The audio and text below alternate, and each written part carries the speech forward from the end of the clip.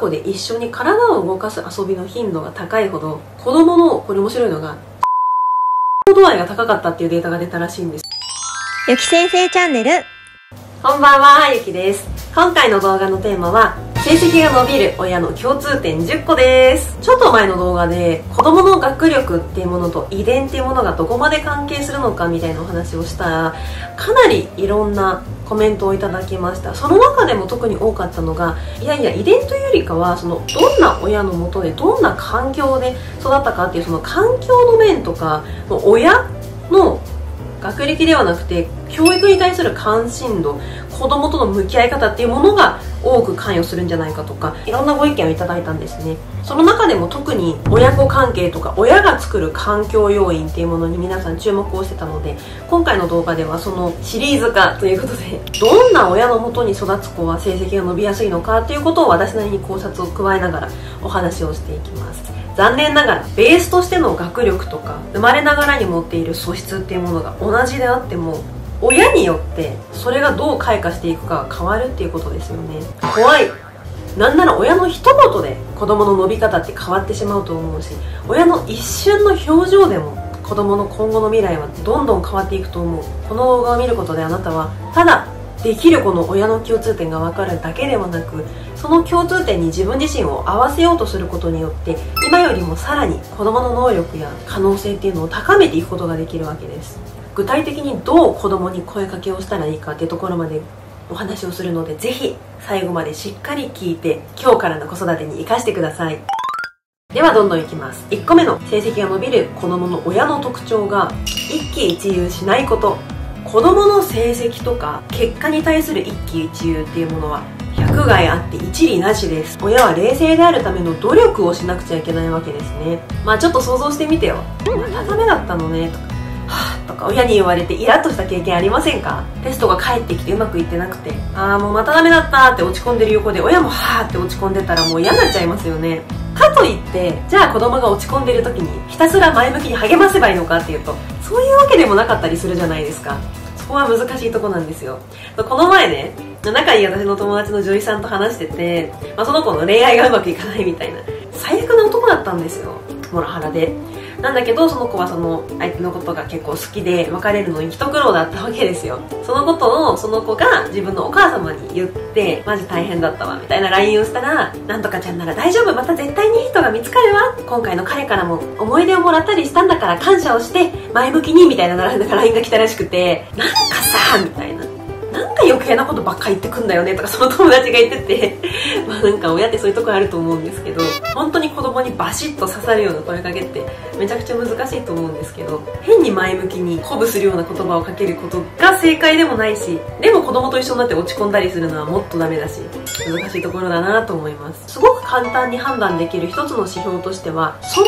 あなたの態度とか言葉が子供にとってストレスになってないかっていうのを考える癖をつけた方がいいです。受験でも何でも最終的には子供が自分の能力をしっかり発揮して子供がどこまで頑張れるかなのでやっぱりその本人がストレスなく日々を過ごすことっていうのを目標に親は支える立場に入った方がいいんですよね。そう考えるとその親が今言った言葉とか表情とかが子供に余分な負荷になってないかなっていうのをちょっと考えてから接する。っていう癖をつけておくとすごい変わるんじゃないかなと思います次に成績が伸びる子の親の特徴2つ目が子供との距離を保てることですそう人間と人間との距離感ってすごい私大切にしていてこれって別に親子関係だけじゃなくて、まあ、恋人同士だったりとか友達関係でも言えると思うんですけどいくらその親しい間柄で、まあ、相手の裸をしてるような立場であったとしてもある程度のやっぱり距離感であったりとか遠慮とか礼儀とかなんかそういうものってすごく大切だなと思うんですね。子供だって一人のちゃんとした人間なんだから彼らにだってプライバシーがあるわけです。意外と子供と一緒にいる中で子供のプライバシーを尊重しようっていう発想に至ったことがあるお母さんって少ないと思うんですね。でもそれって本来人と人とが接する中で相手のプライバシーを尊重するデリカシーっていうものを持っておくってすごい大切なことじゃないですか、まあ、それが親子関係になった途端に見逃されやすくなってしまう。これはすごい危険なので、まあ、子供が持っているプライバシーっていうものを尊重するように少し意識してみてください。理想で言うとね余計な口出しはしないけどしっかり見守ってる。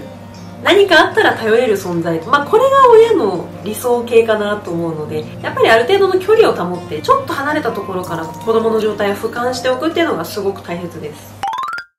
次に成績が伸びる子供の親の特徴3つ目が褒め上手であること。よく褒めて伸ばすかけなして伸ばすかとかあるんですけどけなしておこ叱って なんか伸ばすかとかあるんですけどやっぱりどちらかっていうと褒めて伸ばした方がいいと思うんですよねベースは。でもただただ褒めまくればいいわけじゃないし褒めまくっていたら褒め言葉の価値も下がってしまうよね。なので褒めるってことに関して4つのポイントを教えます。小さな成功を褒めること。努力を褒めること。変化を褒めること。そして最後が理由を添えて褒めることですね。この4つのポイントを重視しておくとその褒め言葉の価値っていうものがすごく変わると思うんですよ。例えばなんだけど自分で分かってるようなチャームポイントを褒められるよりも自分で気づけてなかった意外なことを褒められた方がちょっとドキッとしたりしませんか？例えばテストで子供が100点を取りました。100点がすごいことは誰が見てもわかるじゃないですか。なのでそこであえて「うわ満点すごいね」って言うんじゃなくって今回はケアレスミスをしなかったねどうやって見直しをしたのすごいじゃないっていう風に100点であることではなくってケアレスミスをしなかったことを褒めてあげるとかこの間は90点だったよね10点も伸びたなんてすごいじゃないと。その変化を褒めてあげる。そうするとただただ周りと同じように100点であることを褒められるんじゃなくて100点を取ったっていうその自分だけのその自分の変化を褒めてもらえたっていうところに子供は喜びを感じるしまた同じように褒めてもらいたいなって嬉しい気持ちになりますね。あとは今回100点を取ろうと思って頑張って努力したっていうことは素晴らしいねと。そういう風に褒められるとじゃあまた今度も努力しようって気持ちになるじゃないですか。こうやって100点を目指して頑張れるっていうこともそれで実際にケアレスミスをせずにちゃんと満点を取れるっていうのはなかなか簡単なことじゃないよと。それができたから素晴らしいねと。ちょっと工夫するだけで褒め言葉って変わるし子供が抱くその言葉に対する印象も変わります。そしてもし可能であれば次につながるような褒め方をしてみてください。例えばよくこの点数取れたねと。なんで今回は100点が取れたのかなと。次回も同じようになったら取れるかな。そういう風にどんどんどんどん前向きに次のことを想像させる。こういう褒め方も一緒にできるとベストです。ちょっとここでねあなたにも考えてほしいんだけど人生の中で誰かに褒められてめちゃくちゃ嬉しかったエピソードってありません？もしあったらぜひコメント欄で書いてほしいんだけど私はね6年生ぐらいだった時にサピックスで偉い先生に宿題ノートに「君は絶対に合格する素質がある生徒です」って書いてもらったのがすごい嬉しくてなんかその素質っていう言葉が持つなんかミステリアスなキラキラ感というかそういうのにすごい惹かれたっていうのとあ私ってもしかしたら他の人にない何か能力とか良さっていうものを持って生まれたのかなっていうなんかそういうドキドキ感みたいなものも与えてくれた言葉であとはそういった自分が持ってる力っていうのを認めてくれる大人がいるんだっていうことがすごく嬉しくて今でもその言葉とかそうやって先生が書いてくれたその筆跡とかをねすごい鮮明に覚えてるんですよ。そういう自分が言われて嬉しかった褒め言葉とかをちょっと考えてみてそれを今子供にも与えられるチャンスがあったら与えてみてください。次の成績が伸びる子供の親の特徴が観察がうまいことです。よく言うじゃないですか。過干渉はダメだけど無干渉もダメ。じゃあどうすればいいの？って言った時にこれですよ。無音の観察。あのダメな親ってね自分が子供のこと全部把握してるって思いがちなんですけど全くそんなことないですよ。今子供が本音ではどんなことを考えててなんでこういう風な動きをしたのか。なんで私に対してこういう態度をとったのそれをいいかダメか判断することだけじゃなくてその理由とかを考えてみるんですよ。そのためにはよく子供を観察してどんな表情をしてるかとかチェックする必要があるんですね。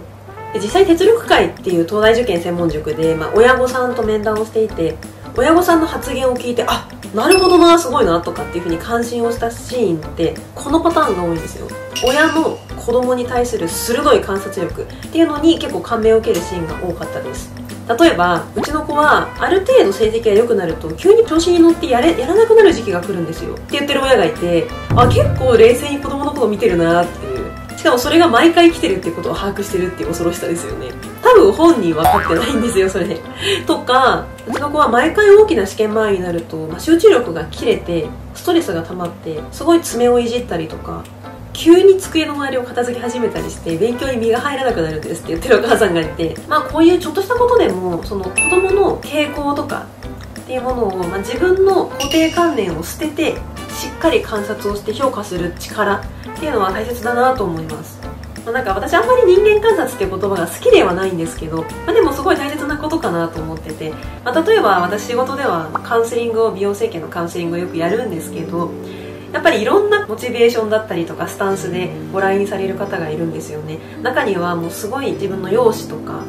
誰かに言われた言葉とかにもひたすら落ち込んできてる方もいるしもしくは今の自分の肌がどこまで綺麗になるかっていうことにものすごく前向きな希望を持っていてランランと目を輝かせながら来る人もいるんですよ。ただそういう患者さんの、まあ、ファーストインプレッション第一印象っていうものに引っ張られすぎずに本当はこの人が何に不安を抱えていてどういったところで目が光って何が本心では気になってるのかなっていうところをすごくこう読み取ろう読み取ろうというふうに工夫をするようになってからすごくカウンセリングが昔よりしやすくなったんですよね。対話の中で相手のここ対話をする中で相手の言葉から何かを引き出すだけではなくって相手の表情とか目線とかそういったところから相手の本心を引き出す能力ってその仕事においても友達関係においてもすごく大切でやっぱり同じように親子関係においてもすごく重要なんだろうなって思います。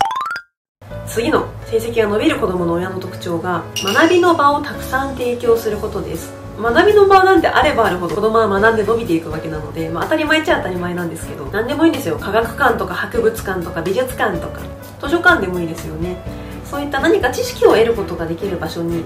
家族と一緒にたくさん行くこと親子でたくさん行くことですね。これによってその学習っていうものへの好奇心、まあ、いわゆる知的好奇心っていうものがどんどんどんどん強まります。まあ、これ別に学術的な機関にかかわらず、まあ、いろんな未知なる場所に子供と一緒に足を運ぶことっていうのはすごく素敵ですよね。ちょっと私のエピソードを話すとね家族旅行なんだけど沖縄に行ったことがあるんですよ。私が人生で初めて飛行機に乗ったのが中学校3年生の時。あの大院中学校って中学3年生の段階で結構な枚数の卒業論文っていうのを書かされるんですね夏休みに。私は超文系人間で何かの教科書に載ってた沖縄戦の話がすごい気になってひめゆりの塔とかに行ってで実際に生き残った方の体験談とかっていうものを片っ端から集めてそれをまとめるみたいな自由研究をしたんですけどそれで家族で沖縄に行って、ま、初めて沖縄っていう未知なる土地の匂いを嗅いで実際にその沖縄戦とゆかりのあるいろんな土地に足を運んで別にそれのおかげで私がたくさん知識を得たとか受験に有利になる体験をしたとかそういうわけじゃないんですけどその何かを学ぶっていうことに対して、まあ、実際に現場に赴いてその土地というものを感じることの面白さっていうのをすごく実感したんですよ。子供にとってどの経験がどれぐらい大きな刺激になるかって親も予想がつかなかったりするので、まあ、だったらいろんな経験をさせてあげてこれは習い事とかじゃなくてねいろんな場所に連れてってあげるっていうのが大切なのかなと思います。次の成績が伸びる子の親の特徴が共に読書の時間を持つことです。これねネバダ大学の研究結果があって面白いから引いてきたんだけど2010年の研究で世界27カ国7000以上のサンプルを対象に読書と教育に関する調査を行いました。本を読んだ子供ほど頭が良くなる。で例えばね本が家に多くある子供の成績はそうでない子に比べて高いとか大学への進学率も20%ほど高かった。あとは家にある本の数が多い子供過去25冊以上はそうでない子供に比べて約2年分ほど教育が進んでいるなんていうデータがあるそうです。あとは本ですよね。好きですか？読書。私もともとすごい本が好きで本当にちっちゃかった頃は父親が私が寝る前にずっとシートン動物記とかを読んでくれて読み聞かせをしてくれたのを覚えてるし小学生の頃も国語が専門の女の先生が担任になってなんか毎日好きな本とか詩とかを紹介してくれる先生だったんですよ。でそれの影響もあってもう私が56年生ぐらいになった頃には超本好きな子が完成されてたんですよね。文庫本？めちゃくちゃ読みましたね。やっぱり長年本と触れ合うことでしか得られない国語力というか活字を消化する能力みたいな想像力もそうかな。そういう力っていろいろあると思うので本と触れ合わせるっていうことはすごい大切。子供がある程度大きくなってしまうと本が嫌いっていう考えになってしまうのでそうなってしまってから本好きにさせるってかなり至難の技だと思うんだよね。なのでできるだけ物心つかないうちから 絵本とか読み聞かせとかっていう本に触れ合うタイミングを増やしておくのがいいのかなと思います。次の成績が伸びる子供の親の特徴が家庭内での失敗を許容することです。この動画高学歴親の病っていう動画でも言ったんだけど子供のことを大切に思うがあまり転ばぬ先の杖を使いまくって絶対失敗しないっていう檻の中に入れ続けるのはダメなんです。失敗を恐れずにいろんなチャレンジをさせて。でかつ失敗した時に何で失敗したのかなって考えさせる。そういうことをしないとクリエイティブな力は伸びていかないし問題解決能力みたいなものも育たないんですよね。なので致命的な失敗でなければたくさん失敗をさせた方がいいと思っていて特に賢い親御さんって子供があ今のままでは失敗しちゃうっていうのが先回りできて分かってしまうからそこをガードしすぎてしまう傾向があるんです。もうちょっと伸び伸び子供にいっぱい失敗をさせてじゃあその失敗をどうリカバリーさせるかっていうところを重視した方がいいですよね。次の成績が伸びる子供の親の特徴が趣味や遊びを共有すること。これもね研究があって兵庫大学違うか兵庫教育大学の研究で親子で一緒に体を動かす遊びの頻度が高いほど子供のこれ面白いのが心身の健康度合いが高かったっていうデータが出たらしいんですよ心身なので体の健康も含まれるのでお腹が痛いとか熱を出すとかあとは心の健康イライラしづらくなるとかこういったところが述べられてました。つまり勉強のシーンだけが子供を育てるわけではないっていうことです。運動したりごっこ遊びをしたり趣味に勤しんだり部活をしたり、まあ、そういったシーンでも子供はどんどん成長していくしその中で体と心を鍛えて育てていくんですね。私の幼少期なんだけどあの私世田谷区に住んでたんですけどちょうど私の一軒家がある前の道路っていうのかな？がそのまんま行き止まりで公園に通じてたんですよ。なんでそこの道は道路だったんだけどほとんど車が通んなかったのね。うちらのご近所さんの車しか通んなかったからいつもその道路で遊んでたんですよ。でその公園もすぐ近くにあるので公園で遊んで。で大体うちの父親が、まあ、すごいスポーツ人間でスポーツ大好きパパだったのでずっとキャッチボールをし続けたりとか一輪車やったり竹馬やったりバドミントンしたりとかそんなことばっかりしてたんですよ。私が覚えてる休日って大体そんな感じ。で5時のチャイムが聞こえて家に帰ってママがご飯を作ってくれててみたいな。そんな感じの生活でしたね。私その子供にとって遊びっていうものから得られる能力はすごいいっぱいあると思っていて例えばその想像力クリエイトの方の想像力あとは発想力だったり思考力だったりいろんな能力が得られるのって塾でもないし習い事でもなくてやっぱり自由度が高い遊びなのかなって感じます。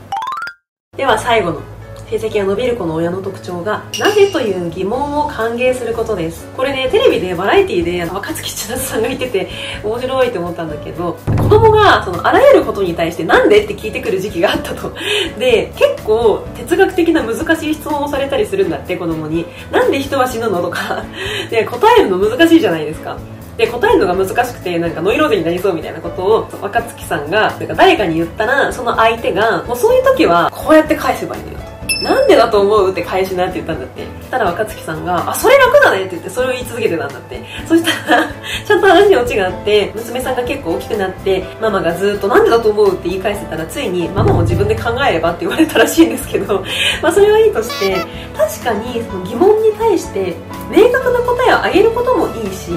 ただ明確な答えを言わずになんでだろうね？って一緒になって考えてあげて子供の自由な発想をそのままこう歓迎してあげる。っていうことがすごい大切なのかなって思います。なのでこう子供の疑問を歓迎する。一緒に疑問として考えること。こういうシーンが家庭の中でいっぱいあるといいんでしょうね。ということで10個共通点を紹介してみたんだけど何個当てはまりましたか？子供の成長に対する親の役割とか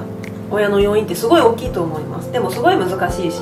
答えもないからね。悩みも尽きないと思います。また皆さんの子育てでの悩みとかこれってどうしたらいいのかなっていうのがあったら私の視聴者さんみんな優しいのでコメント欄で相談とかアドバイスとかをし合ってみてください。